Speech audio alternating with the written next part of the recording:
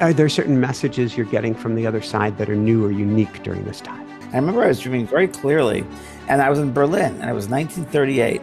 So it shows me that that part of my soul probably was alive at that time in the German side. I, I, I had to think, that I killed people? Oh my God, I couldn't have killed people.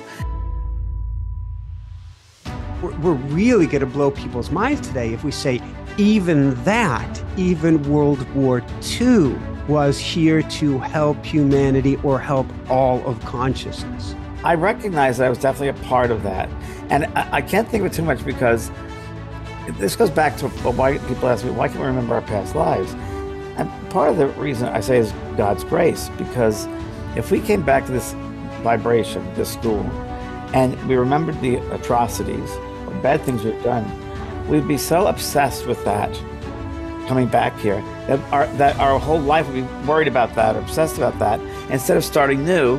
Because we, before we come back into the body, the physical body, we go through what's called the valley of forgetfulness. And it's like a clean slate. So these souls sacrifice themselves to help with evolving the consciousness, bringing the consciousness back up. And right now we're in a major cleansing too, because we've got to realize that hate doesn't work, war does not work. These are evolved beings. These are ascended souls Thank you. who put themselves through that in order to teach humanity what is wrong, what is right. The, the number one lesson I've found for most souls that come here is Are you ready to shine?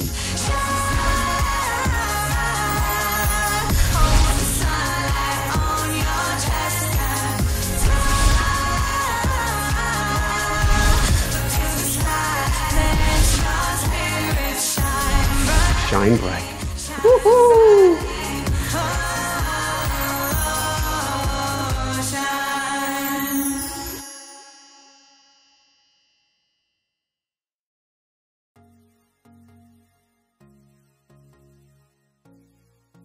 Hi, everyone. Welcome back. I'm Michael Sandler, your host on Inspire Nation. if you've ever wondered what the spirit realm has to say about what's going on in the world, then do we have the James Van Praagh Wisdom from the Spirit Guys show for you. Today, I'll be talking with James Van Praagh, TV star, medium, and the author of over 12 number one New York Times best-selling books, including Wisdom from Your Spirit Guides. And that's just what I want to talk with him about today about your soul mission, soul contract, the earth and why you're here, in particular, now on planet Earth. In other words, all about our transformation and shift to a higher level. So, welcome back to the show, James.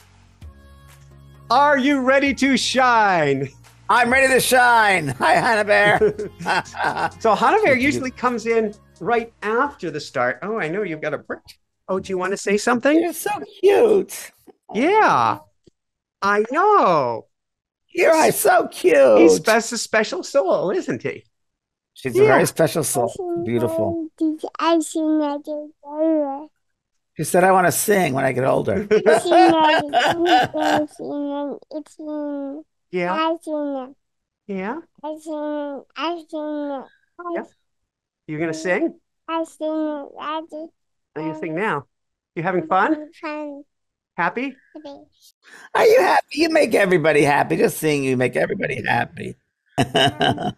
Yay! All right. Well, do you want to stay in my lap as we do this, or do you want to uh, go get ready for bed? Uh-oh. All right. let- How about you start saying this and I'll get ready for bed? No. You know, I like this. Well, the, the audience knows that very shortly she will be apparently taking over. All right, down. All right. sit- Do you want to wave bye? You want to wave bye to Bye, sweetheart. Bye, baby. Bye, honey bear. All right. So the, the trick is, James, how do we go from that note to a serious note? Oh my gosh. So here, here we go. We're going to dive us right into things. Before we dive right into things, James, is humanity in trouble? Oh, well, I don't know. I don't know want to judge it like that, but um, it's certainly some conditions have changed and will be changing. I'll put it that way. Some major learning things going on here, learning them lessons coming in. Um, it's interesting because I've been, I'm fascinated with World War II. And even Nazi Germany, I can't get enough of it. So I had 55 relatives die in Auschwitz. And I've always had this uh, really weird sense of a connection. So I definitely know I was there in a past life. Do I know his side? Not really, but I was I was watching some stuff, uh, documentaries. I love history, and I'm watching and thinking, well, these people had this whole political movement that you know that was the way they wanted to get. They thought it was freedom, and there was a whole movement, and the the whole war happened, and I don't know. It's it's it's amazing, but um, I think these things happen, these situations, these conditions.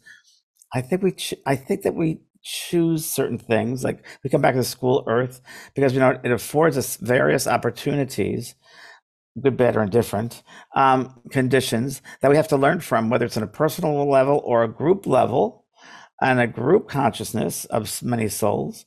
Um, there, I think there are many variations, Michael, why people come back here and I think, are we in trouble? Um, we're always in trouble, I guess. we're always we're always learning, but we're always learning something. The degree of what we're learning, the subject of what we're learning changes, right? But we're we're the same soul, but we're maybe expanded in certain ways, or our per- perception has changed a certain way, and maybe you look at something very differently than you used to.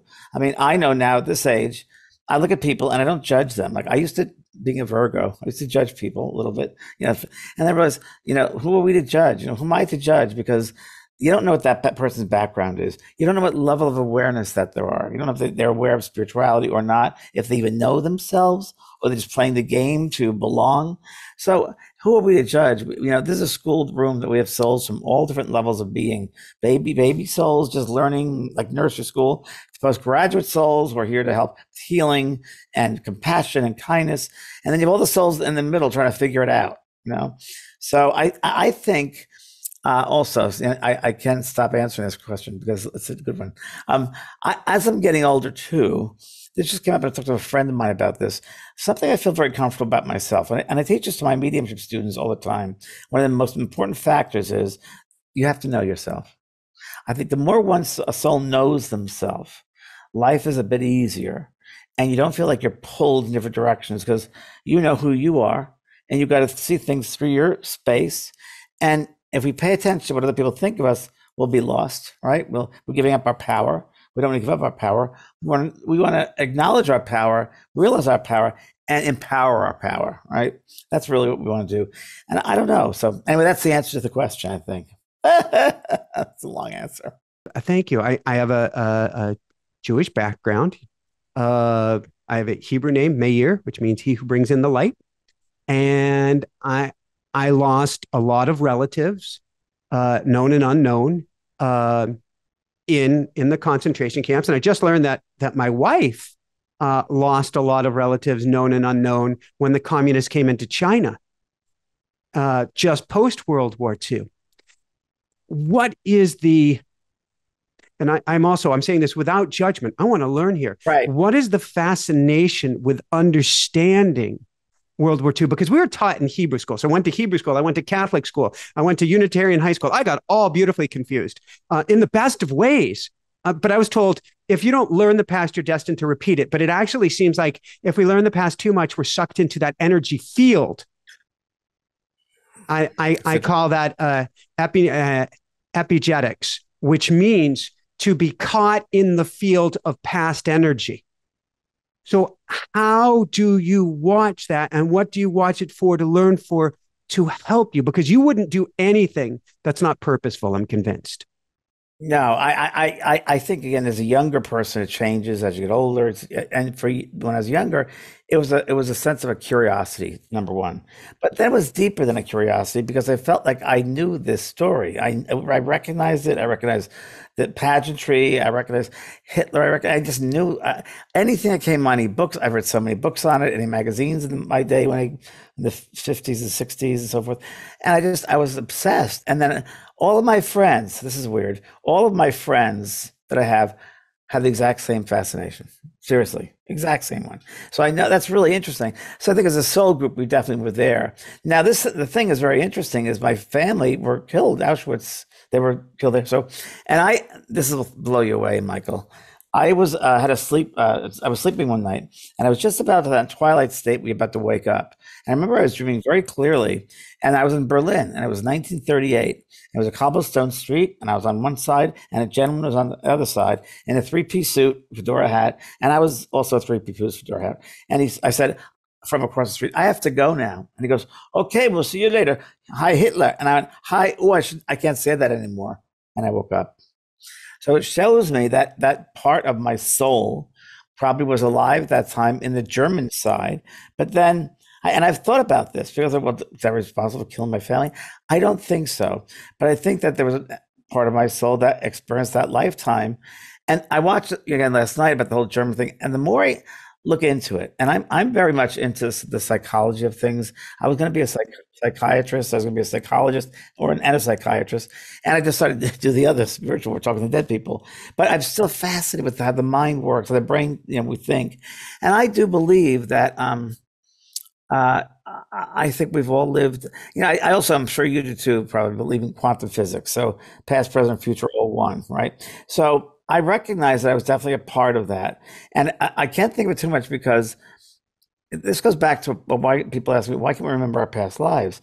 And part of the reason I say is God's grace, because if we came back to this vibration, this school, and we remembered the atrocities or bad things we've done, we'd be so obsessed with that coming back here that our that our whole life would be worried about that or obsessed about that instead of starting new. Because we, before we come back into the body the physical body we go through what's called the valley of forgetfulness and it's like a clean slate. And you really will you're so you will have some memory or uh, a identification or reference. And that with me Germany definitely was one. New Orleans, uh, certain place in Europe, and then there are other places and countries. I don't care to be there. I just don't have any feeling for them. But I, I do think it's soul memory, and I think I, I had to think that I killed people. Oh my God, I couldn't have killed people. But I got to think that back in that time, the whole political era was all about. I don't think they, again, I don't think they knew. A lot of the German people didn't know what was going on. I think. I think they just followed someone to make their country better, and there was a whole nationality type of thing. And I think that they got caught up in all that. I don't know, so, but I, I, definitely think I was a part of that. Um, I think we all were. And now we're back doing spiritual work. It well begets the question if we're calling this an earth school, if you and I am sure agree that this is all a setup and this is all a play and it's all happening for a reason, then we're, we're really going to blow people's minds today if we say even that, even World War II was here to help humanity or help all of consciousness. Right. So the people that often I've often said this, people say, how can we justify and rationalize the, the, the millions that were killed in the camps and so forth? And I, I, to me, the first thing I thought of this is years ago is these are evolved beings. These were ascended souls Thank you. who put themselves through that in order to teach humanity what is wrong, what is right. So these souls sacrifice themselves um, that's how I feel. I won't know until I pass over, but I feel as if they've sacrificed themselves on large scale to help with evolving the consciousness, bringing the consciousness back up. So I think that we have to every once in a while the um, the Earth world has to go through a cleansing period in some ways, and right now we're in a major cleansing too because we got to realize that hate doesn't work, war does not work, because the one thing that is really important is that, we, and we realize that when we pass over to the spirit world, there are two things that are very, very real. And you know from NDEs you've had, uh, I had one NDE, but I realized that um, there is no death. Number one, there's no death. That's an illusion. There's no such thing. You can't die. Can't kill energy. You continue, you go back to your higher self. This is just the smallest part of the soul. I always say the physical body is like 30% of the soul. 70 is already out here, right? And then the other thing is separativeness. We have a sense in this dimension that we have to be separate from one another. And the truth is, we're not separate. We're part of each other. And I, I got that, Michael, from uh, a near-death experience that I had was an awareness that, and again, outside what of time, happened? Well, I was aware that um, I'm going to detail how it happened, but I, I hurt, hurt, my head. I popped out of the body, and I was aware um, immediately uh, that uh, my cousin passed much many years earlier, who taught me metaphysics when I was a child. She came to me, and I hadn't seen her before this. And I said, I need help. Um, and your personality, you know, survives. And I said, and she goes, don't worry, you'll be out of it soon. And I said, you mean out of it or out of it? Can you please help me out here? Because I need to know because your personality, sense of humor yeah. stays there. But immediately after she, she just left, faded out. And I was aware of this beautiful tapestry above my head and above everybody's head. About It's like a universal tapestry. It's that matrix, if you will. And I realized that every thought we had creates like this thread of color this light, the structure that bleeds into that tapestry and influences that tapestry. And, it, and you have good positive thoughts as beautiful colors are expressed and, and shared in that tapestry, that blanket of beingness. And, and same with dark thoughts or negative things. It's uh, not as colorful. It doesn't move as quickly. Not as you know, not free. It's limited. And I thought, wow, if people realize that what they did in killing another person, that they're actually killing themselves, yeah. that they're actually it's bad for your own growth, but it's you're you're it's it's the rippling effect for everybody, and you've got to be responsible for that. If people realize that when they pass over, they'll feel everything ten times, twenty times, thirty times stronger than originally given, whether it's good, bad, or indifferent. They got to live that, and they got to feel it from another soul's perspective. So if they hurt someone, they're going to feel what that soul felt like when they were hurt, right? Because if people realize that, that maybe they'd wake up a little bit more. And if they realize, I mean, one of the things I'm sure that you're teaching in your School of Mystical Arts and, and we've been working with is that everything goes into that tapestry. Every thought, every action, every non action is all a note that you're singing in vibration or out of accord for that matter. That's right. And and there is no God that goes, you go here, you go there, you go there. We judge ourselves. So we, we look and see what, what test did we pass? Did we pass the test this time around of compassion, of kindness, of forgiveness, of loving self? And maybe this time we didn't quite get there. And we'll have an opportunity to do it again, maybe in this back in this physical earth or some other space or galaxy, because there are millions of them. So uh, the biggest thing is I found um, while we're here on this earth, it's really about loving yourself. First, I found, I don't know with your work you found this, but the, the number one lesson I found for most souls that come here is self acceptance and self empowerment and self love. Because when you love yourself, the world changes. You see everything in a very different way. And you don't become a victim and you become of, of circumstances or so forth. And I always say, as Wayne Dyer used to say, uh, Terry Cole Whittaker used to say, what other people think of you is none of your business. Amen and that. it's really true right? Because nobody nobody can tell you who you are. You're who you are. You, you know you are. You know yourself better than others. People say, "When am I going to find love?" And I would say, "Well, I, how would I know? You know yourself better than I do. When are you going to find love? You tell me." I wonder though. So one of the things we've been teaching is, and and you may have people do this as well, is to wake up in the morning and before you even go to a place of thought, to hug yourself which ain't coming from you. It's coming from your higher self. It's coming from up above. In other words, it may even be that your own opinion of you is none of your damn business. That's exactly right. Or that, that lower part of you, really. That's what I mean. I mean the small yeah, self versus yeah. the big self. You know what? I, a friend of mine uh, who's a really talented medium I had on my show the other night. Her name is Janelle Campbell. She's from Australia, and she. I, I, said to her, you know, when you do your work, and what are the mindset you get into when you open yourself to the spirit? And she reminded me, she goes, "Well, I had a teacher named James Van Praagh once." and was laughing, and and I gave I gave the class, I guess, this this symbology or this analogy, and it's really good if I say so myself. And she said, "But what what she does, this works. What you're talking about is she creates a star in the heavens and the spaces, and that star she brings in that starlight, and or she goes to that, and really that star represents your higher self, and it's bringing that that down to this consciousness. That's you know, and we can always do that with the breath. We can always bring it in, right? And let out the let out the heavy and bring in the light. I was just, I was I was literally just writing about that this morning because I was writing about NDE number two, and I was given a choice to stay or to go, and I'm I'm in a creek bed waist deep. I've got bones sticking through the femoral artery. I'm bleed, bleeding out internally, and um and it was going to be this nice blissful place. and and I had just told my wife this was many years ago. I was ready to have kids, so you don't say you're ready to have kids and check out on your partner. Um, no. So I chose, I was given a choice and I chose door B. And so here I am back on my body and I couldn't breathe. And so what I did literally is there was this brilliant light above. And I don't think that was the tunnel at this point. I think that was called Lake Tahoe Sunshine but I breathe in light, sent out right. love. Breathe in light, sent out love. The EMTs got there half an hour later. They're freaking out. California Highway Patrol, literally, literally, they they later, Cal- state of California called me like six or twelve months later and said, "Do you want to press charges?" These guys saved my lives. I'm like, what do I want to press charges? They're like, because they were saying so much profanity on on the on the um, the microphone or the what do you call it uh, uh, radio when they should have been rescuing you. And, and they were freaked out because they had no, I had no blood pressure. and so I'm like, they saved my life. Use whatever language you want, but just breathe in light, send out love. That's what you're talking about. It's all it's all love. I mean, it really comes down to life. Life is really simple. I think humans make it more complex. They get caught up in the complexity of the simplicity because I think life is a series of choices. That's all it is. So as souls, we're, we're here, born here, and everything is a choice. And and and when it first come into this world, we're very open and imaginative and limitless, and we have that beautiful energy of light. We've just come from the spiritual realms, so we really are bringing that into our first many years here. And then I think around the age of six, seven, eight, we become programmed by the adults in that, you know, bedtime is this, you got to go this time, or um, you, at school, you got to get an A on this test in order to be accepted or approved.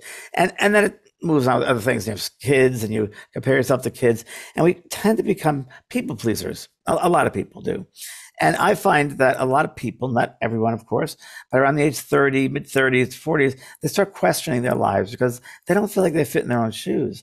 And most of them don't because they're trying to live someone else's life instead of their own. Yeah. They're living to please others and be approved and accepted. And that'll never happen. They first got to get back to that young child inside and I know you and myself share that very commonly. Mm-hmm. We we have the young kid inside. We love to play. We love amusement. We love joy, and joy should be part of the journey. J O U R N E Y. Joy is part of the journey, and we need to remember that joy in that journey, and not get caught up with the everyday stuff of this physical dense vibration.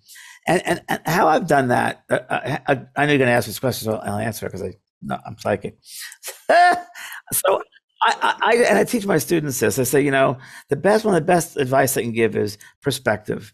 It, when something's happening, you step back and you watch the show in front of you, like the stage show, and you're in the audience and you're watching it play out. You're not a part of that. You're just observing it. Now, there might be an opportunity for you to be one of the players, which we are on this physical earth, but you're just playing the role of a, of a son or of a father or a, a daughter or a grandparent. And, and that's, and the, play changes. It's you know, like Shakespeare said, the world is but a, a players on the stage, uh, and it's it's really true that. And I think you have to go onto those roles to learn those specific characteristics of what it's like to be a mother who loses a child, or or someone who does suicide, or someone who's murdered. I think it's all learning, and it's it's all learning. Even war, coming back to be in war. I, I don't think things happen the way you know, I, I do think there is a sense of free will, no doubt about it. But I do think in some way that before the incarnation, there are certain conditions that are set up and they could be a fork in the road. Like if things continue this way, you can have war. If things go the other way, you don't have to have war. But I wonder if, as to how many wars are destined to happen and how many are, you know, created through the mindset of politicians. You know, it's interesting, but I, I, don't. I just perspective is a big thing, and and whenever I have people around me, you know, whether it's family or friends, I've gotten into headspace, like you talk about. Every morning you wake up and you hug yourself. That I wake up every morning with gratitude, and I wake up every morning with like put my glasses on and that's see see what the players are like today. Yeah. Everybody I meet, I'm having an opportunity that day that every person I meet on my path is either a teacher or a student, mm-hmm. and it's up to me to share that love whether it's opening a door for someone, smiling at someone, have a nice comment. It's spreading that love in a, in a micro world because the macro, we can't really take care of. The micro, we'd start with this, right? And, and around our environment. And it's just changing perspective and realizing that we're all souls, every one of us, and that we're all going through this passage of time and space. But we should make the best of this time and space. And the best way to do it is that choice of love. So, as I said earlier, life is a series of choices, either love or fear. And fear is an emotion. It's a wasted emotion that's created in the physical vibration. It's not in the spiritual realms. Fear doesn't exist there. Lonely love exists there. So that's really interesting. And um, I, I, I'm a fear of something. Particularly, what part of me is in fear? Why am I fearful of this? What is the worst that could happen? So I think fear can be a great teacher if you know the right way, as long as it doesn't run your life. So, so Hermeticism, as above, so below, as within, so without, as the micro, so the macro. And I might be adding to that a little bit, but eh, the little decisions, the little decisions of going to a place of love, going to a place of love from fear, going to a place of love, and spreading just a little bit of that in the day. I'm convinced, and I want to hear your opinion on this. I'm convinced actually that's a wildfire that does make a massive difference on the face of the planet. I think so. I mean, we might not see the, it playing out as, as quickly as we would like to, but we're in a we're in a you know three dimensional world here. But I think it's our responsibility to send out that love, to speak love, to share love, because everybody wants to be loved. Everybody wants to be validated, as we should be. We're loving beings, and um, it's so interesting because one of the most um, incredible and common uh, responses I've had from spirit people when they've come back to talk.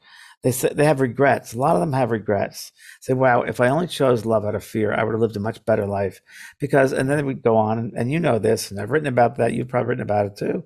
Is that you know, like attracts like. So we're magnets, and if we bring that love in and give it out, we're going to bring love into our lives, and love opens everything up. It unifies things. It brings in, it opens that space for all that manifestation to happen. But fear blocks it. Fear limits things, and that's not natural. Fear is not natural. So that's why you and I are, are, and other other light workers are trying to remind people that they're love. They're not fear. They're love. Fear is taught. You know, love is intrinsic. Love is the way we are. Yesterday, I traveled from uh, Newark to here in Florida, and I said I have two. What was that like? Oh, and it was right before a snowstorm. What was it like? It was awesome. It was absolutely awesome. Now I must I must say when we got to Jacksonville, Jessica's like, "Can you feel that?" She's breathing and she's like, "It's not that the humidity so much feels great, but do you feel the difference in the energy?" And there's a difference because that frantic, frenetic, competitive 50 million people in a tiny little space, as there was an advertisement where Newark Airport, it says 50 million people are within this circumference of you that you can reach with this advertising. We're like, oh, can't breathe. But we went, I went on this trip and I went to the airport with two missions, two intentions. One, health. We keep our health no matter what, because it was in for the holiday, in for the holiday now. Second, we make friends with the TSA. That's great. And we did. I, I, always do that. I always I do I I always compliment them because it's a hard job, I think. It's oh really my God, hard. it is. And and you can yeah. and they're and they're all getting hit with the opposite of love and what a difference you can make. And, and typically because we we carry, you know, baby formula and stuff. And what happens is if you carry baby formula, somebody's getting the pat down. it's, it's just a done deal. and I'm like, I'll take the hit. Uh, but Here's the baby. Pat baby down. Yeah. I, you know, that's funny. It's, it's, that's one of the greatest uh, opportunities to show love is in, in the TSA line and also in the airports because a lot of people are. Oh my God, and, just beam it. Just beam it. I always, you know what I do when people are like that? I go, "How are you?" And they, I'm fine. So you look beautiful. I mean, your your your eyes are gorgeous. Or I love what you're wearing, and they love it, and they they will open themselves up like, "Wow!" And they're being noticed, they're being validated. It doesn't take much, and I'm not being phony. I'm opening up their sense of love that they are they are beautiful, and to get out of their head and into their heart. You know, when you uh, sometimes you say things like that uh, compliment or uh, uh, you know you're going to their heart space and and that opens them up a little bit. And and they might say and this has happened to a coworker when I was at Starbucks oh, that guy with the mustache he's so funny. He was so nice. He complimented me my apron or whatever it was. And then that person tells the other person it's a rippling effect. And then also we could think that this changes them in that wow if that guy acts like that maybe I can act like that. I wonder if things would change. And um, I did it today. I did it actually today. And I don't like when I have to confront people. I don't like that, but sometimes we have to. I had my, my Ford truck in a getting a battery recall or something. Uh, it was over a week ago, and they called me up. I called them up. I said, "Well, is the battery fixed?" This is like two weeks, a week and a half ago. I said, "We don't know what it is." I said, "Okay, we're going to check the electronics." Like a long story short, it's been ten days. No one's called me, and I mean, I was a good customer with them. And I called yesterday. They wouldn't return the call. And it was a simple changing something out. Just inform me. So I left a message for the general manager and I said it was outrageous the way I was treated as a customer. I mean, it was just outrageous that no one can pick up the phone and tell me the condition of or status of the, the truck. Like, what is that about? And I just had to point that out because it wasn't the right way to behave. It's not the right way to treat people. I'm not judging. I'm saying it's should, customer service is customer service anyway, the, the, GM called me this today, and he really apologized. And he said, "James, I'm so sorry." He goes, "Um, you know, we're understaffed." I said, "I could tell that. I understand that." And I said, "But the people that are there," he goes, "I went down. I told Joe how to behave to customers." He goes, and Joe goes, "Well, it'll take 10, 10 minutes." And the guy goes, "No." just three minutes, just listen to them, tell them what's going on. So it's a bit of training, but we have to be able to tell someone, not in a judgmental way, but there's got to be some kind of a way of in, reminding people, right, that we're here for each other. That we, when we take these positions, even even if it's a fast food place, I go, I smile all the time. I mean, there's there's no difference in us. So they're behind the counter, I'm the other side of the counter. I mean, really, we're all the same. I, I really, it's funny. I was picking up garbage the other day with the garbage bin. so I'll help you. I put the garbage, we're not competing here, but I put the garbage on top of the garbage can because they have to actually pull it out of the garbage can. I'm like, well, why don't I just make it a step easier for them? well, we just discussed before we started the show. Your birthday is the 25th of August. I'm the 23rd. Yeah. So we have a lot of similarities, which yes. is very interesting. Yes, yes, yes. So do we all now we've got a lot of hero this means if this time period there's another cleanse going on we got a lot of hero we got a lot of ascendant masters coming through to help teach humanity are we all here a, a with a soul mission and um, are the soul missions different today sure i i, I think so and, and and the thing you said was really important is coming and going so i, I think that people have to realize that um, you know, we souls, and, and, again, we're all in different levels of awareness, and some of us are ascended masters or teachers, or so forth. But um, I, I, think there. I think that the intelligence of that world, the, spirit world, if I call it that, the, the, source, it's so beyond us humans. It really is. We looking around our, our Earth world, we have change of seasons. The clouds are moving. You know, the ebb and flow of the water. I mean, it's an amazing experience. What what's behind all that? So I think that um, we as souls choose a certain time in the continuum of time, and this school Earth and I think there are millions of schools, and I think millions of galaxies. This is just one.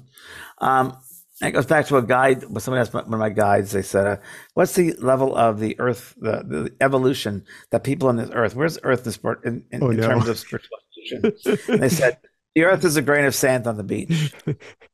There is now a level zero. yeah, and I think I think that we do uh, again. Like I think like attracts like. Yeah. The more one can ha- have use love, utilize it in their life, you will bring to you those beings who work with you in that loving space, who are on that vibration. And the more we're open to it, we will bring that into our, our space. So I do think we have, everyone has guides and helpers, um, all different types of guides, whether it's um, joy guides, children or joy guides, maybe my professional guide. Uh, when I was first starting out mediumship, I had a doctor uh, from England who was working with me, a chemist, a scientist, a philosopher, a, a Catholic nun, I had all these different people, that beings that were there, and they change. Many of them will change as we evolve. They evolve. Their job is to get us one step, another step, and then there are some stay with us entire lifetimes, or just one lifetime. So it's always constantly changing depending on our soul's needs and our, our, our work we're doing. And, and remember that they're doing their work and they're evolving as well. By helping us, they evolve. So I think that's very interesting too. It's not just here; it's it's there. And the other day, also, we talked to um, that same thing. Ascended Masters guides came up, and someone asked an interesting question. They said, "Well, they're not human. Uh, they don't have to be human." I said, "God, no, no. Uh, there are many b- beings, light beings." Mm-hmm. Uh, we'd we'd call them, you know, alien beings, but they're really not. But yeah, like not in the terms we the alien, but they're definitely light beings, legions. I once did a reading for Shirley MacLaine, and it was really interesting. Several we're good friends, or we're, we're friends, and uh, it's hard keeping up with Shirley. But uh, she's fa- one of the most fascinating people I've met, and I honor her because her book Out on a Limb really changed my life. And when I did a reading, all these beings came in from other star systems, you know, and we're all star seeds anyway. But these were beings who are at such a high frequency, and I knew that they were trying to come down to this level to get into my, and I'm raising my vibration, they're lowering theirs. But the information they have to give, it was very spiritual. It was very in depth. Um, but a lot of it was they say, well, and the human mind wouldn't understand some of the things we're doing the, the lower part of the mind would, but not the, the, the, lower part of your mind, human mind would. But the higher aspects, you might not get fully get them or understand them. So I know they just give it, it's called droplets of God, you know, feeding us these droplets of God about kindness or compassion or, you know, forgiveness. I, go, I call them droplets of God. You know? I love it. What else have they told you? um, that, uh, it's very interesting. They've uh, often said, um, c- conditions will change. Con- they call it conditions, and and it, it, and it all is very much often they talk about again going back to yourself, controlling your own life, being aware of what's going on. Inside. This is what you're responsible for yourself. You are responsible for how you treat yourself, how you love yourself, and through that, your interaction with other p- beings. Because if you love yourself, it's easier than to love other people. Um, that, uh, that's so it's so interesting because again, the human condition. So humans, a lot of them live in fear, and if you get rid of the fear, and I don't know, it, it's hard because you got to be more. I don't know. It's, it's a tough one. It's um it's a tough one. It's a time where people are looking outside themselves instead of in themselves, and I think that they have to look in themselves. Um, the the the extremes i think there's always a reason behind it. We might not know why. Like let's say our political system right now there's extremes um, red blue whatever you want to call it but we have to learn something from that that we've got to meet in the middle and maybe this will force us in some way to meet in the middle to and, and hopefully it will. So i think there's always reasons behind it. We might not know the answers at the time these things are happening but i think there's a larger more expansive bigger reason behind it more than we know as humans Thank you. So I went out this morning. Um, I did some research for today's show, and I heard "Stop It." and, and I, I, I, know when I do research and I hear stop it, it's going to go in a completely different direction. And there is absolutely no point Always. in doing the research. So Always. I, I go out for a bike ride and um, I, I'm training pretty good, getting a good workout in. And then um, I see a, a like a tree branch root in front of me that you know you got to jump over or something. I'm on my mountain bike and I hit the brakes and I almost hit that branch in front of me. That turned out to be this this girl here. Oh wow. Wow. That is wow. a diamondback rattler. The deadliest oh. snake in all of North America. So there's there's her her with her nice diamonds evident there. P.S. Just confirmed, and I thought so because her mouth was open as I came to come by. This is uh, considered a diamond. You can see the diamond pattern. A diamond rattlesnake. So this is the most deadly. ah, uh, deadly. I would have been if I ran over you, poor thing. This was this is the most deadly uh, snake in all of Florida. Oh, I'm sorry. I mean, it's okay. I didn't hit you, but now uh, we got to figure out what to do here. How do we do this? I know. Oh, you poor thing.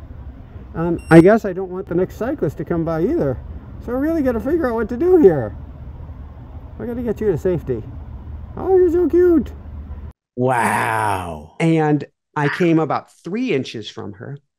She raised her head up and hissed. I jumped back while saying sorry. You know, you could see the long rattle, rattle fangs. And then we just stood there together. Now she was in fear, so eventually I left. She didn't want to bite me. I didn't want to write over her. And I had just been talking to Jessica two days ago, my wife Jessica, about I feel personally, and I feel like everyone's going through this. Like I'm peeling off a tight skin right now of that snake, and it's very uncomfortable. And here is literally the deadliest snake in all of North America in front of me. And we're sharing this moment, and I'm going, I get it. You're my teacher. This is where we're going today. This is about transformation. I need to share this with James. And I'm going to go the other way because I respect you. and I said love and love and love. Makes a transformation. It represents transformation. My goodness. So the end of death and beginning of life. So isn't that where we're at? where we're at, yeah. So right now, we're in, astrologically as well. We're in a major change, a major transformation space right now with the alignment of the planets. So it's for humankind, and it's um, up, you know, good and bad. If you want to say that, up and down. Um, it's extremes. It's going to be extremes. So we'll see. I do believe there'll be another war. I do believe World War Three will be happening. I do. I don't mean to be a doomer. I just feel that. Now, was I told that? Well, my sister who passed over in April said, came back and said, "You got to get World War Three. You got to get out of there." And I'm like, how do I get out of here? I mean, yeah. but I, I did I she mean get out of there, L.A.? Did she mean get out of there, U.S.? No, did she mean get off of Earth? get out of the body. Go back well, that's going to take care of itself. so don't worry. So, but it's um, it's you know, it's it's hard to look at it this way, but it's all learning. It's all it's all learning. Now, you were open minded enough to stop, and obviously, I think you were looked after there. Yeah, if, if I had hit the snake, that would have been a, a really we, we wouldn't be having the show today. Poor snake, but I would have been in the hospital at best. Yeah, but I, th- I think one step more for you though, Michael, is you'd feel everything from the snake. You feel that connection. Oh, you yeah. feel that oneness. We, we, you know, we feel that the feel the oneness of that snake of, that's part of you. That's part of the. I'm going to do meditations now and go and connect with that snake spirit. We're not we're not done. We have a lot to communicate with each other now. You bet, and maybe that'll be some kind of a logo or insignia, or something you're going to do. Who knows? so, all right, I, I've got to go there. Forgive me. Um, what have you been hearing? You, you, can go anywhere you want. I, I, I and, and, and, it's funny. I got this chair. It's a gaming chair, but it's the best, most comfortable chair I've ever had for the show. And I call really? it my power chair. And I got it about a month ago. There's a logo of three snakes. That's amazing. Wow. It just came that way. I didn't know. I don't know anything about it, these these chairs except this one felt right. But okay, so you've heard from your sister that uh, World War III is coming up, and and this is you and I both agree. So I know I know that you did Ghost. I know that you were offered, hey, let's have you uh, end the show on a dun dun dun note, and you're going not a freaking way because it's all about energy. I know you set people up for a higher vibration at the end, not a lower vibration. I get it. so so I want to go there, but I want to go there in a way that's going to raise people up as best as we can, because not only like attracts like, but we are projectors. We are projectors of our reality. So what what else has your sister been telling you, or what have other spirits been telling you, or how have the messages changed? Please. Let me interrupt you for a second because it's really interesting what you're saying. Because um, how we can look at this in many different ways, but if that's inevitable, let's say because well, life one never knows. The, past has already happened. The future is yet to be. So all we have is this moment now, and it's what you're going to do with this moment right now. You know what are you going to do with this moment, and if tomorrow was the end of your life, if you knew that, how would you behave today? So that is the way I look at it. Is if this war, where it's coming, or if something, and you know, the death is inevitable for everyone, not necessarily in war, but we will all eventually go and move on, which we thank God we will. But how would we change our lives now? Would we change the frequency? Would we love ourselves more? Would we appreciate those other beings in our life? Would we thank people? Would we forgive others? Let us do that now and raise that vibration in those ways before we have to force wait for a war to start. We should be doing that every day. We should. I really do believe that forgiveness is one of the highest lessons uh, there is. I think it's a, uh, as you know, forgive ourselves, medicine for ourselves, and it really frees us up. Um, forgiveness is really important, but I, I, think we really need to do things today that you know we shouldn't put off tomorrow live for today, live for the moment, and live the best moment you possibly can. So at the end of your life, when you look back and you have your life review, you can look at the earth and I can say, wow, I made it a better place than I when I started. It's better off than when I first got here. And that's what our, our thing is. And it's not just us. Everybody can have this awareness of that. Everybody should be, I want to make this earth a better place than when I found it. In every in any way they possibly can. You know? we had a, a snafu on, on time zones here before we got together today. And so I, I grabbed my daughter, whisked her off to the playground, and sat with her on a park bench, and then sat on another park bench. And then I think we had a third, or we sat on the dirt in the dirt. And we just took time to just not climb this, not run that. I would have been totally fine. And in fact, she wanted to run a sand hill after that, and I was all for it. But just be with ourselves how often do we do that? I was like, this is what I want right now. You know, father daughter time of just hanging. And, and, you appreciate it just in that moment. And, you know, things happen for reasons. Now, I don't know, you know, we, we won't know until I guess we leave the physical vibration, but I think we're always taken care of. I really do. I think we're divinely led. I think things happen for a reason. I remember I was teaching, you've taught at Omega Institute, right? Uh, actually, the other coast. I, I've taught, taught Massachusetts at uh, Kripalu. Oh yeah, yeah. Okay. So so Omega right in, the, in uh, Hudson Valley, right? So I was after my my class, I was going to the uh, the Elizabeth Lesser's house across the Hudson River for dinner, and the girl drove me. You know, just drive me up because I have to go there with, over the bridge. But before we get to the bridge, I was like, "Oh no, I forgot my keys, my car keys back in the class." So we had to turn back and go back like twenty minutes and then get the keys and then come back out and go back up toward the bridge. At that time, there was um, a collision on the bridge and three people passed, mm-hmm. and it was like three car collision. And if we had if that had not happened, we probably would have been on the bridge at that particular time. So we never know why things happen in our lives, but there's always a bigger force or a bigger intelligence, I believe, behind it. Even when people say, you know, why did my child pass away? You know, adults, you know, parents should die before their kids.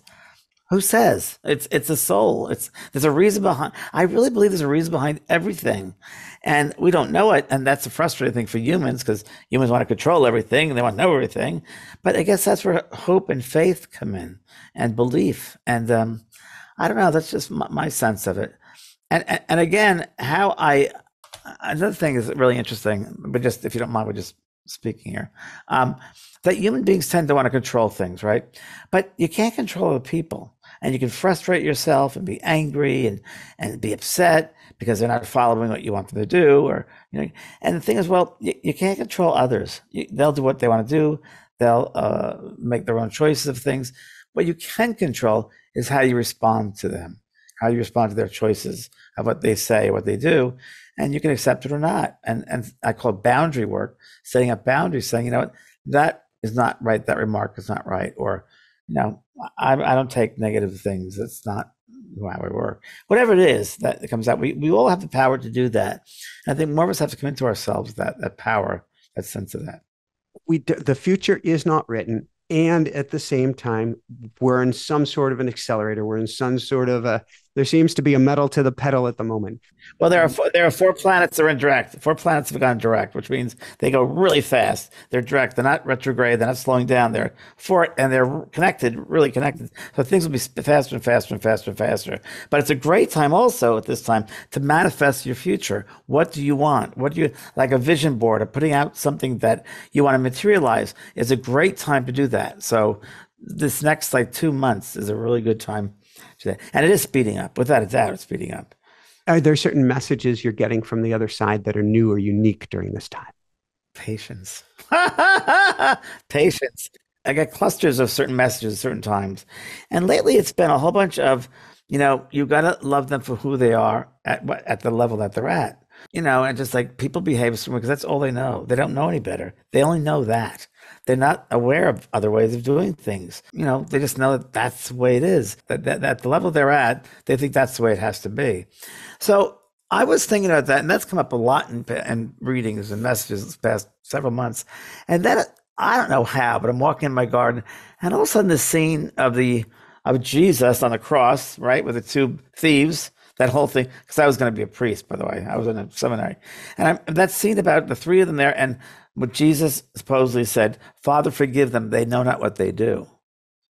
It, it really hit me in a whole different way. They didn't know what they did. They had no idea that that wasn't the right thing to do. They just didn't know. So, you know, we got to forgive them in that respect that they don't know those things. They don't know, you know, like I don't know biochemistry. I wouldn't be the first person. I'd be the first. I no way. I don't know it. So we have to accept ourselves and others for what level that they're at. And I, that's coming in a lot lately. I love it. That's the uh, it's the paradox. It's always paradoxes. Um, we're in a duality, so we're in a duality world here. We have both sides. If, if you want somebody to be more patient, to learn patience, give them the opposite of patience. If if you want somebody to give to practice forgiveness and understanding, give them something so horrific they can't possibly forgive or understand. Well, they could, but they but if they had to go inside and just, I think inside our soul, inside of us, I think the soul is tucked neatly behind the heart. And I wrote a book once called Reaching to Heaven, and it was about, I think it was called Zygote, and it was the seed of the soul. Mm-hmm. And that the seed is carried through lifetimes of lifetimes of lifetimes, and all the soul memories are there. And I think this is where this has come up and recently too in the past several months.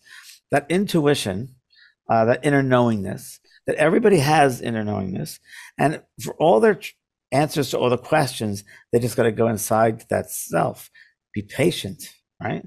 And learn to open up to that little voice within and to hear it in a subtle way and go from your head to your heart. That's been another one that's come up. People have to live heart forward, heart first, not in the head, because there are many things we can't it doesn't work that way. It works in the heart. The love is from that heart energy, and that's what um, solves so many things if one would start coming from the heart. And, and, you can get frustrated by it, you get upset by it, or you can just see it for what it is and try to make it better any way you can. Smiling, saying something kind, you know, uh, being patient in traffic, you know, um, all those all those opportunities that we have, which there are many these days, to show kindness and forgiveness and love. Um, I go to a dog park every morning with my dog Pearl. And what, what kind of dog? Wait, this is important. What kind of dog? Uh, an Australian Shepherd. Woohoo! I, I, had an, an, an, Aussie Shepherd Coyote mix uh, a long time ago, Coy dog. Uh, smart, very, very smart. Unbelievably smart. Unbelievable. I, mean, I think she's going to write my next book. She's that smart, I might think. Not, I'm not necessarily judging them, but I'm aware, I'm observant that some people go to the dog park and only just sit in their phones. They're not connected to the animals at all.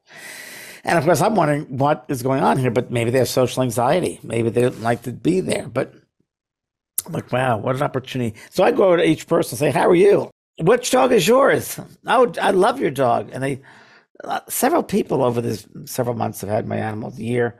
They look at me like I'm kind of weird. People do that anyway. But when I say, wow, what a beautiful animal. And, you know, it takes a beautiful uh, owner to have a beautiful animal. And they're like, huh? Reflection. So, and then they get it. They go, Thank you. Wow, that's that's great. And as I look at how great they're playing with other animals stuff.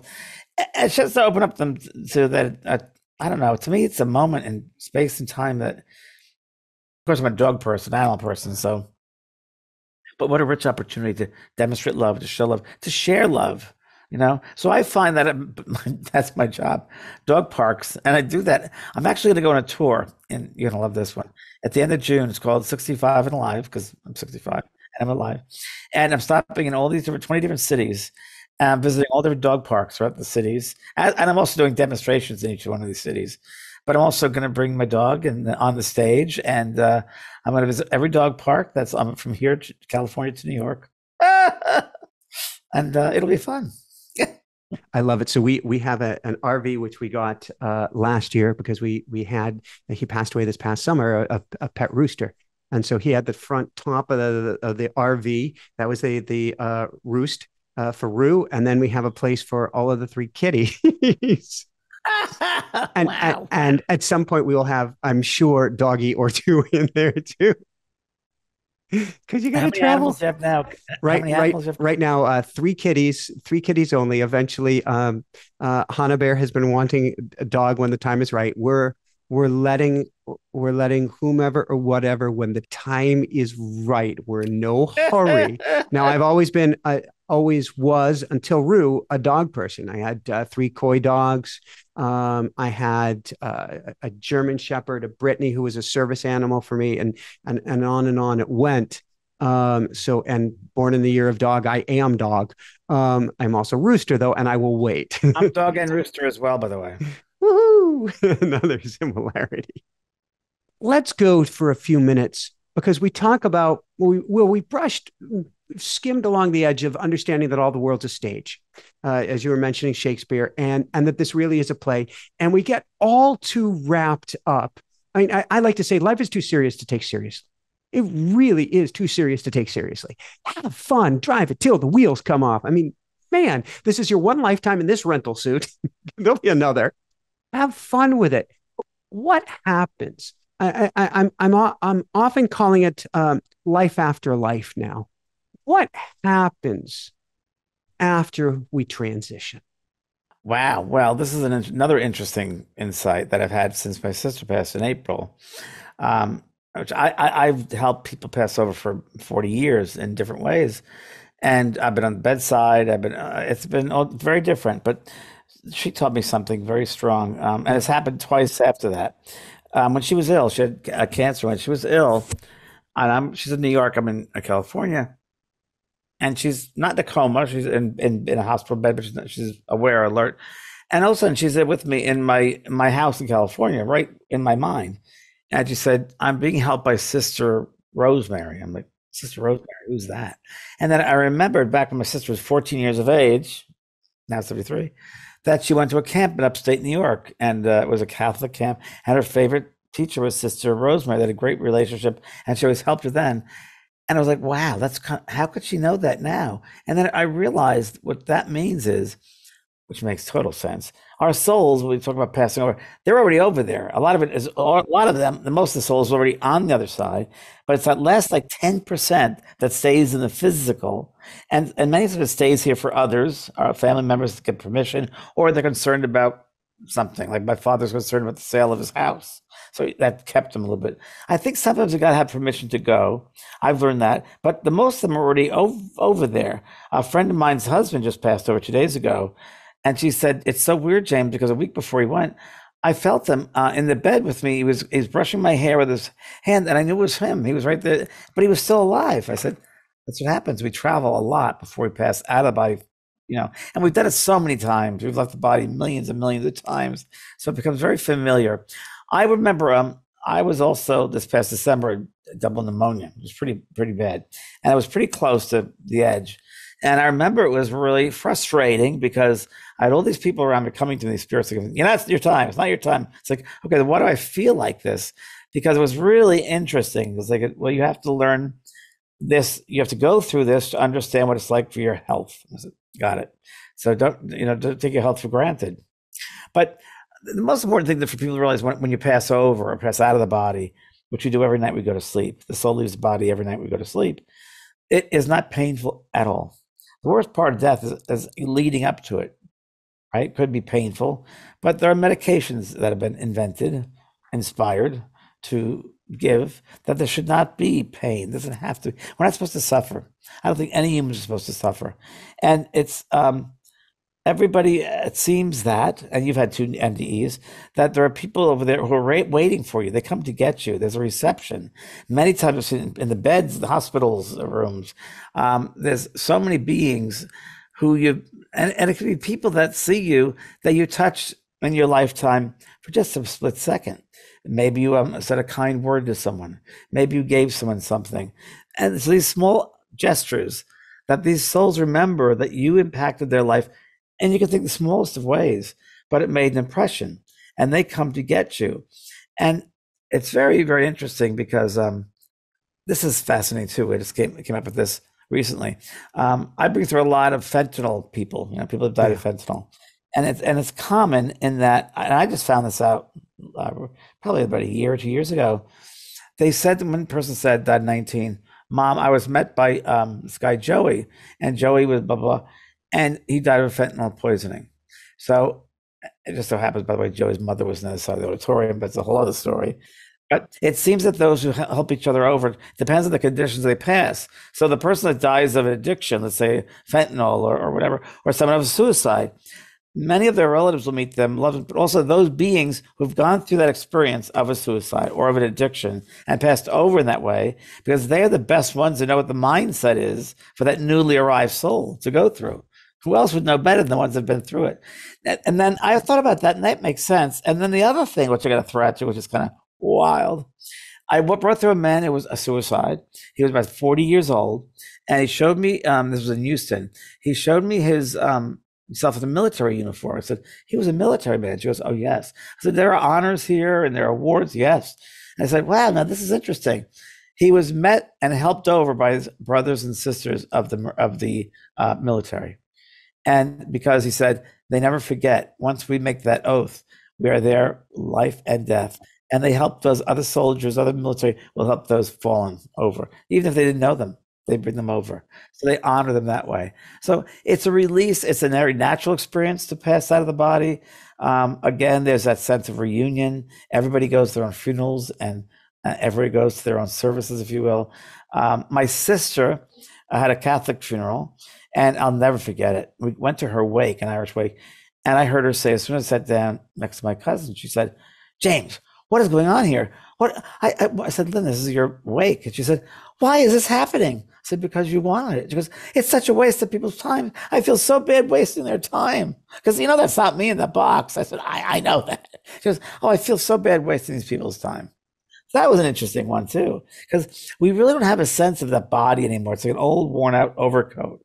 We're very relieved to leave behind, as you know from NDEs, that the feelings that you get. And, and I was watching this other, um, I watched YouTube NDEs, these stories. There was this 83 year old man who talked about his in the 1950s. He drowned in the lake, and it was so interesting how he went through and he felt the bottom of the the of the lake, and he felt he knew he couldn't breathe, and he heard a voice that just relax, relax, and he eventually relaxed. And he went to this light, and he said, "The light was God. Light was everything. We are all knowing." We know everything we pass over. We know everything. It's this valley of forgetfulness we go through in the physical. Then we forget the truth, but we all know things when we pass over. Hannah Bear, who you just met tonight, um, her twin sister uh, passed away in utero, and and and now is my head guide. She's like, oh, I, will I'll speak for these guys over here, and she she's she's she's in in cahoots with me on a daily basis. Are you from New York originally? Uh, my family is, yeah. Yeah, there's a lady next to you from New York, New York area. She's a New Yorker. She's a strong personality. I know it's like a grandmother, but I feel like the lady comes knows of you in the family. That's Grandma Mildred. And uh, okay, she's really strong mm-hmm. and she's really personable and she's really proud of you and she's happy about the teeth. Don't ask me why she's talking about the teeth, but she's happy about some change of teeth. About that, I, I was on the phone really... with the dentist right before speaking with you. Thank you, Grandma. Can't make this stuff up. There's also someone named Sarah somewhere over there. Sarah. Well, there's a Sarah. my my service dog's name is Sawa which means the enlightened one in Tibet. Could it be that S A W A? Uh, but Sawa is still alive, yes? Uh, no, Sawa's not still alive.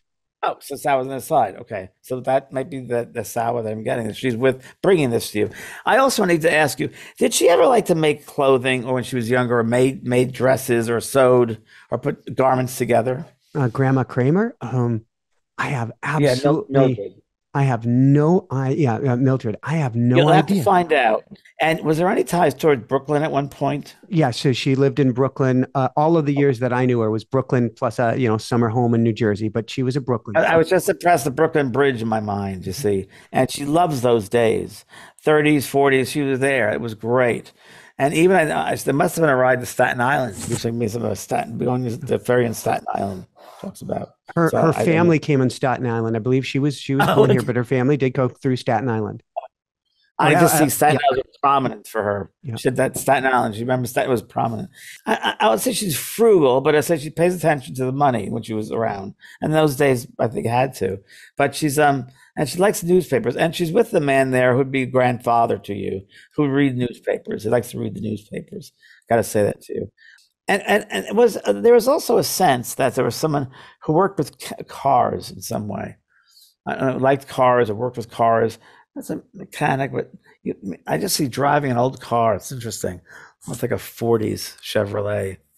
That I Sorry. don't know. oh, I'm I'm fascinated. Uh, I I know my it's grandfather weird. on the other side. He loved his. uh what was it? I think it's your father's father. Fa- I think it's your father's father. Yeah. I think he loved his old Lincolns. Yeah, and it might have been. Um, he must have. Has, was he also from New York or New Jersey? Uh, he was. I, I don't know his his origin, but he was a. I knew him in Massachusetts, but he had family in Florida, so he may have also been. I don't know if okay. he was. Well, I don't. I don't know. That maybe it's not it, but I, I just get definitely with him. There's a feeling of parades. Mm-hmm. Have parades and and have, have fun, picnics, parades. I see water. I see like the boats in the harbor. I see. I love that. I just loves that parade feeling I get with him. That'd and be more my grandma. Uh, that be my grandmother's uh, father, uh, grandmother's uh, husband, um, who was more of the fun, jovial dance parade. Okay kind of guy. Like he did. That. He did have a, like a, car, that. a brand new car, when I went to visit him in Brooklyn, and he said, "Look out the window! I just got this car earlier today." It was oh, gone. it was stolen within a few hours. They found it stripped and burned on the highway by the next morning. Oh, there's the car thing. Wow, that's weird. that's weird. Oh, wow, that's wild. Yeah, they're very proud of you though over there, and you will get more animals uh, coming sooner than you think. oh Sorry, God. I see two dogs. Yeah, see that. Cool. Yeah. Um, they're very proud of you is is there anything that they need me to know right now? Um, is there anyone named Francis? Uh, there there is a uh, a Francis who is uh, Hannah Bear, my my I guess she'd be my niece, uh, Hannah Bear's cousin. Are you going to be seeing Francis? Or just, just saw Francis yesterday. Because there's a lady here talking to me about that Francis person, so she would be associated with her, I believe. Huh. Francis. Yeah. Um, keep on doing what you're doing, and um, you're not doing it alone. I mean, they're right with you, and you do have many beings around you. I mean, gal- we can call it galactic, but uh, yeah. Have you ever thought about artwork? Doing any art ever? So I went to Catholic high school, and I'm Ah, sorry, it's so bad. Yeah, I don't remember his name, but there was a a um a brother who sent me to the dean's office um, after I was in art class and I had done a drawing. It's probably the last drawing I've ever done. And he said, You can't possibly be this bad at art, Michael, or drawing, Michael. You must be doing this just to piss me off. And sent me to the dean's office. And I was that bad. so I feel like this time period now, well, it's interesting. I have a business card from somebody for wall art right next to me. Is it a time period of getting back to my artistic side? But I do feel maybe it's more the writing, the music, but it is a time of artistic expression for me and not to leave that Yeah, behind. yeah, yeah, I'm very down to earth, so I don't. That makes sense, but I, that, that doesn't feel right to me. What feels right to me is drawing. I see bright colors around you, and and what that, to me, I, I just sense that that whether you're going to change your logo, the way you do your business, there's something with bright, brighter colors coming your way. It's like splashes of these colors, and I think it's more to do with the newness of your your work, getting it out there in a different way. It's going to be more colorful, and it's a beautiful design. And I just got to say that um, just watch for it. You'll see. It'll be. It's nice. It's like rainbow colors or something. You'll see. You'll see what I'm talking about. Okay. and you'll look let me know. I look forward to it, and I am certainly not the uh, the drab color guy. And I think this is probably, or at least used to be, your favorite color as well. So Yes. Yes. Yeah. I'm down with Yeah. that. That's true. So there you go. Yeah, it's good. Thank you, thank you. What what does it mean that we have two deaths when we cross over? Um, well, the, the first death is, say, our initiation of when we when we initially leave the body. Um, when we take our last breath is when we leave the body. Uh, when that that ten percent of the soul leaves the body, I put it that way. And so there is a, a tends to be, and again, I, I feel so weird talking about this stuff because I don't want to make sure I get it right. Because when I pass stuff like, is it exactly what you meant? From my understanding, I'll put it that way. Well, we all have a filter. Let's let's just say that to everybody. We all have a filter in this, whether it's ten percent, thirty percent. It's coming through that filter, and we do the best we can. That's right. That's right. And, and it's just that the first initiation is getting used to the new world. So Mhm. many call it the astral world, that that spirit world. And you have, you know, beautiful, beautiful gardens and colors of flowers of all different shapes and sizes and beauty and textures over there. Colors we don't know even in this world. We don't know these certain colors. Um, there are things over there. It's all done. It's a very mental world. So you think of something and it materializes. Um, and many times people are brought over to the other side. This is an interesting one.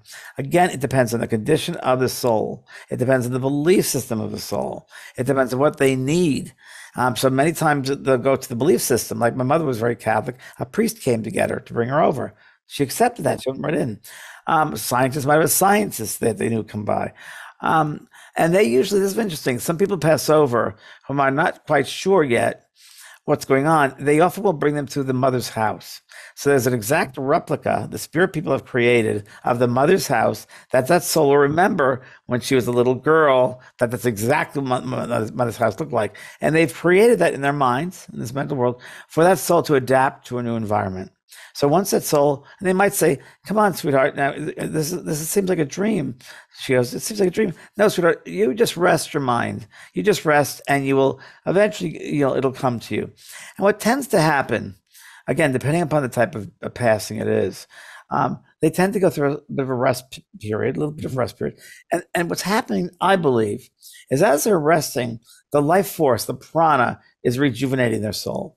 So they're rejuvenating the, the soul being rejuvenated with that prana because a lot of life force is taken away during this transition or leading up to the transition. So they get refilled up. And it seems that they open themselves up and they're there, they have this awareness of that. And it's like, wow. And it's um and they get into the whole space of knowingness and they begin to understand themselves from a soul point of view, not a human point of view. Mm. And they begin to see the human part is just a very small, small, small part of who we are and um, they get to see themselves as a beautiful being that they are, this beautiful light soul. And and many spirits often will feel sadness in that if only I knew this when I was living, I would have treated myself better. I would have made better choices. So that happens. There are people there that um and a funny story. interesting story. I worked with a lot of celebrities and political people and all that.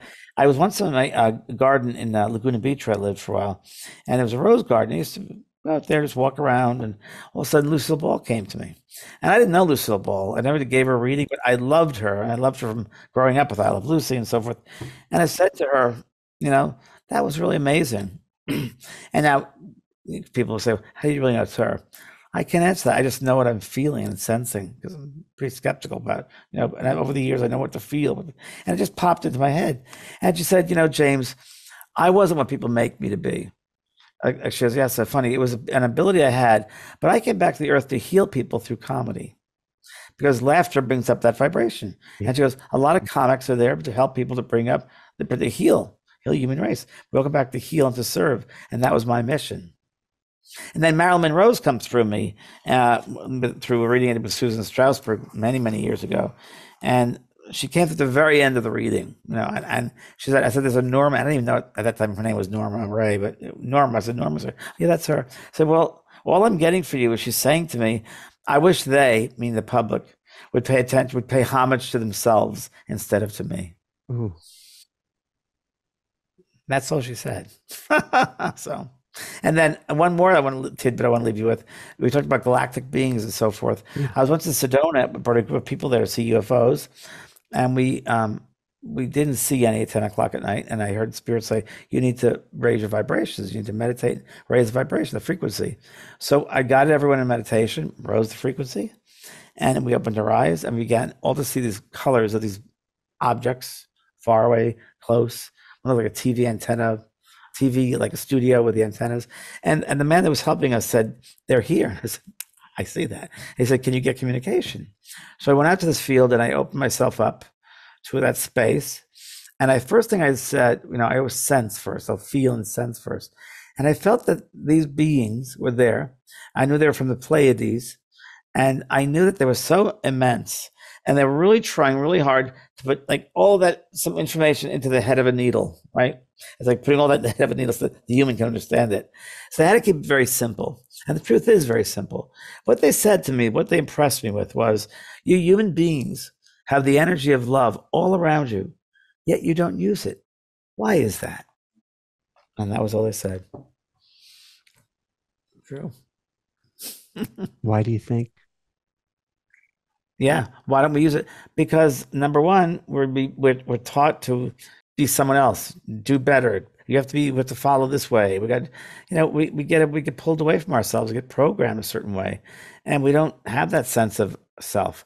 I think that's changing now. I think now, maybe to an extreme, but I think people become much more aware uh, of themselves. I think even spirituality has changed. I think it's much more available to people, much more aware.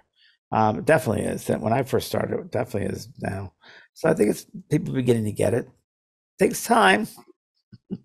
you you had double pneumonia. I I also have been down this road, um, misdiagnosed, and thankfully still here.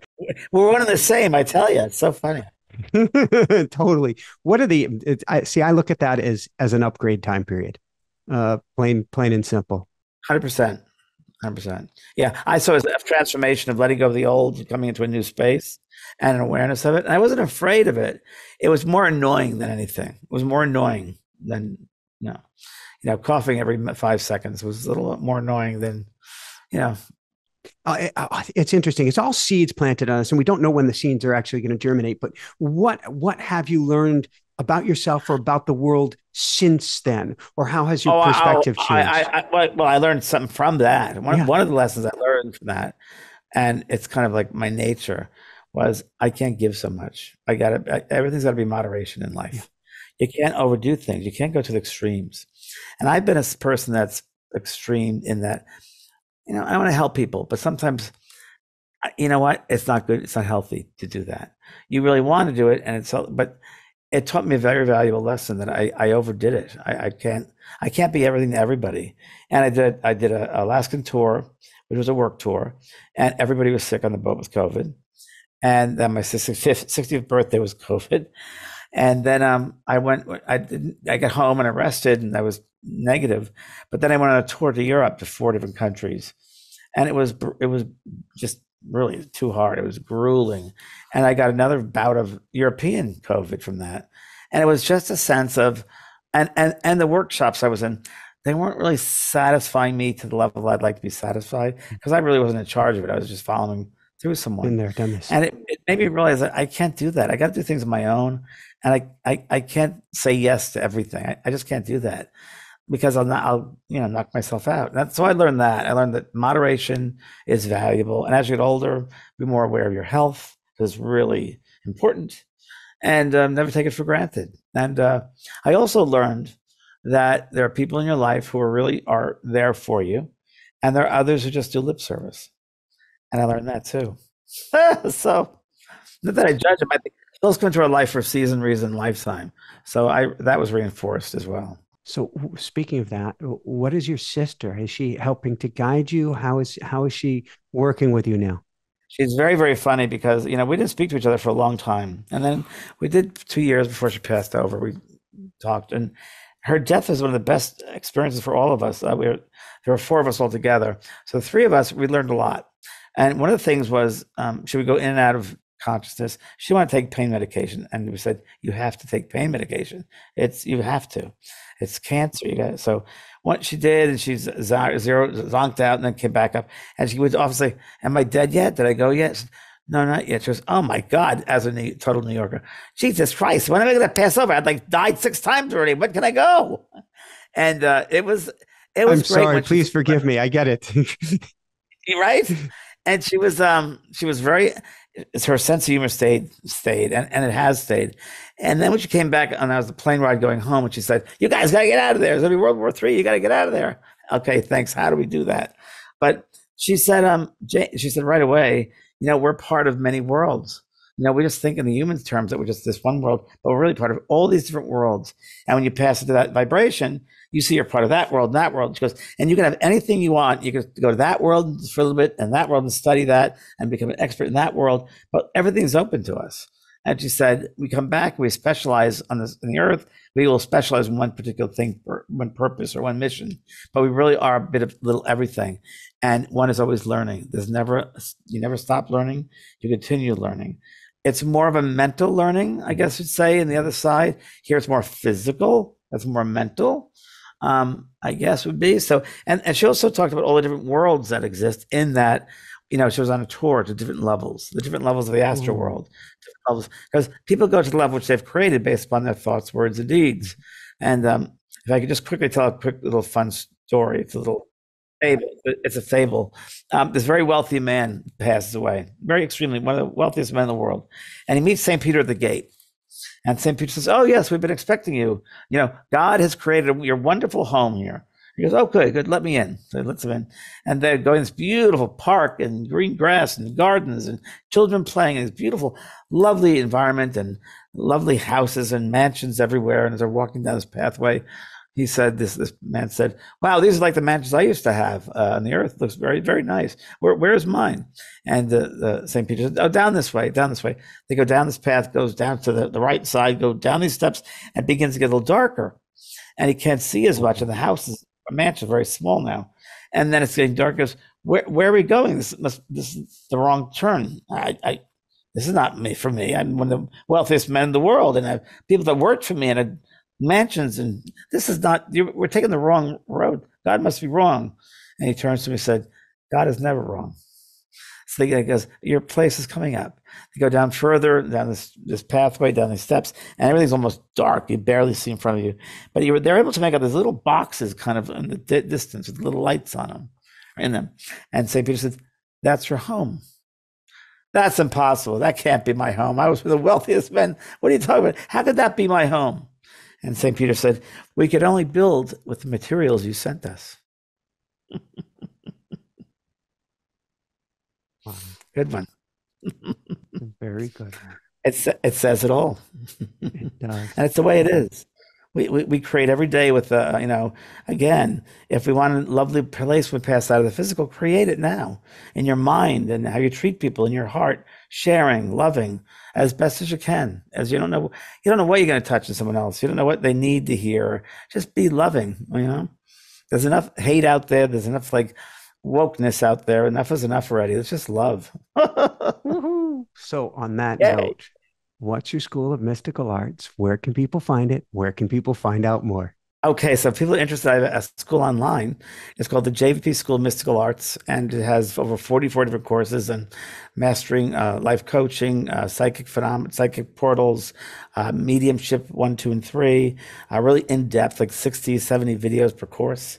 Um, it's a lot of um, online stuff. I do per- personal uh, connections with people online as far as having group classes. It's all different. They're all different from healing to psychic work to uh, life coach work, um, all different types of things. So that's the JVP School of Mystical Arts. Okay. And we'll put that link down below as well. All right. Two last questions for you. Um, okay. First off, not just on the world, has your perspective on people's lives changed or the arc of people's lives or your understanding of people's lives changed over the years? It's interesting you say that because, again, it's so funny how things just pop into our mind. And when things are co- coincidences, God's way of remaining anonymous. I really believe that.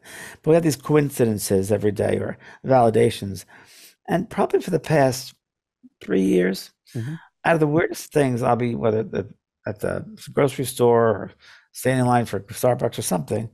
And inevitably, I'll have someone say, I want to thank you for your books. You changed my life. And it's happening all over the place. And even which now, the best one was it's happening a lot more in the past three years that I finally see. Not that I need it, because just do the work, you just give it out and just do it. But I've got a lot of people now coming back into my world, my orbit, who've been touched by the work, and it's helped them in ways. And uh, you know, I'm just doing the work, and I'm really happy and pleased. You know, and I, I'm just doing my work, right? So I do that. But it's funny, and I'm really happy that it's been touched by so many people because that was the intent was to open people up. Um, funny thing was, I was with a, I went to a doctor during this, the pneumonia thing, and he was a, a specialized doctor in La Jolla, and um, I, I, I go into the room and he's there, you know, very forties, and of course my personality is, "How are you? Good. What's your name? Uh, my name is Ali Salih Ale." I said, "Oh, that's great. And where where is that from?" He said, "Well, I'm from Kuwait, and I'm also Irish." I said, okay. And when's your birthday? He goes, I'm a Taurus. I said, of course, you're a good looking man, Taurus, beautiful sign. And you have a wife? yes, I have a wife and uh, I have a child, one on the way. And I said, oh, and you're going to be moving soon. And he goes, wait, how do you know that? And I said, oh, I'm psychic. And he goes, wait a minute, take off your mask. I recognize your voice. I used to watch you on television with my mother when I was a kid. oh my God. And it's, and he just told me how, um, then he, went on to tell me how his mother went to a demonstration of mine, and I brought through his sister that passed, and it changed her life forever. See, and, and that's and it's, it makes you really, really happy that you were able to be that instrument to do that. It's all I can say, but it's you know it's it's it's it's just the work that we do. It's our it's our service work. I don't think anything special of it. I just don't maybe that's a good thing. I mean, I'm a double earth sign, so maybe that's it. And I think I'll get all that when I pass over. I'll get a lot of that. People will meet me in reception, but I just do it because it's the way. I don't know. It's just the way we should. I, I we should do it. You do the right thing. I live by the golden rule. I really, really do. And the more I live by it, the more I see people that don't live by it. so it reinforces that, you know, with with with. Yeah. And, and you may have you may have answered this already, but any last words? And and this has been I love how we've gone over the place, but we've come back to the same theme time over time after time after time about how we get to live moving forward, how we get to live. Well, forget about moving forward now here in this very moment. Well, everything is you know every moment opportunities, right? So there are opportunities, whether it's a really a difficult situation, whether you're having a fight with someone you work with or live with or whatever it might be step back, step back and see the whole situation and don't get plugged into it emotionally because then you won't see it clearly. Step back and see it from a soul's point of view. What are you learning? What are you learning or what are you teaching? And you don't have to get angry with someone. Just step back in the perspective. I think we need to have perspective um, of what we're learning, teaching. And also, we have to realize that we have power, power with our words. Our words mean something. Words have an energy, and you can destroy someone with words. Um, and that's really important to know that. Even in thoughts can destroy people. You know, and when you pass over, like I said earlier, you're going to see all of your thoughts, all of your words that you let out, and you're responsible for them. Um, one more thing I want to close on, which is uh, uh, interesting. It's another story. At 40 years doing this work, I love stories.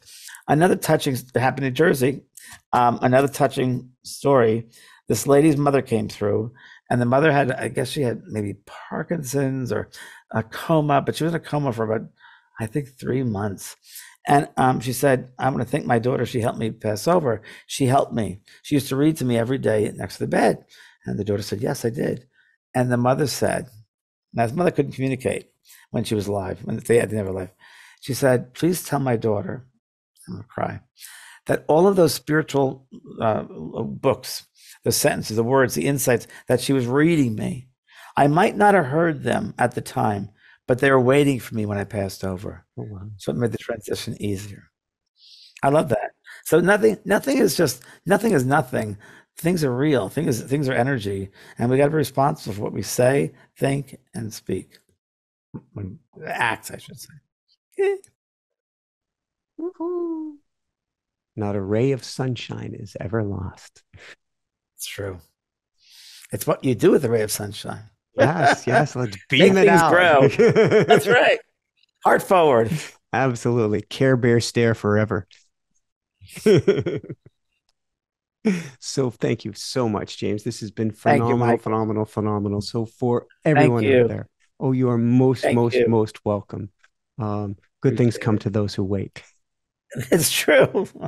it's true. So, for everyone out there, this is Michael Sandler saying, Be well, have fun, step back, step way, way back, and then lean forward with your heart and with those rays of sunshine and with everything you've got. And above and beyond all else, shine bright. Woohoo! Woohoo!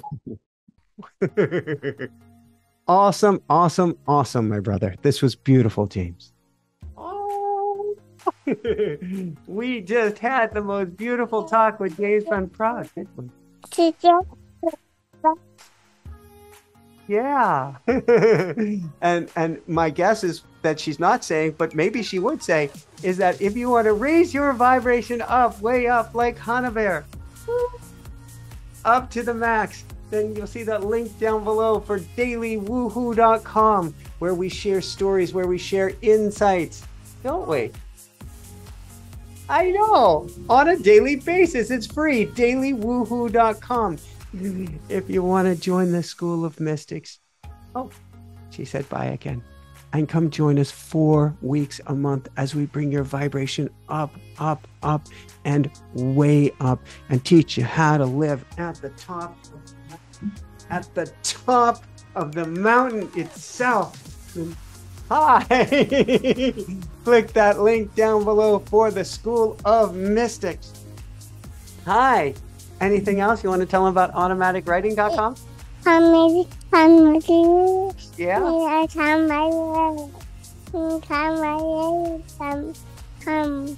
um, and if you're saying, come join the School of Mystics, come join the School of Mystics.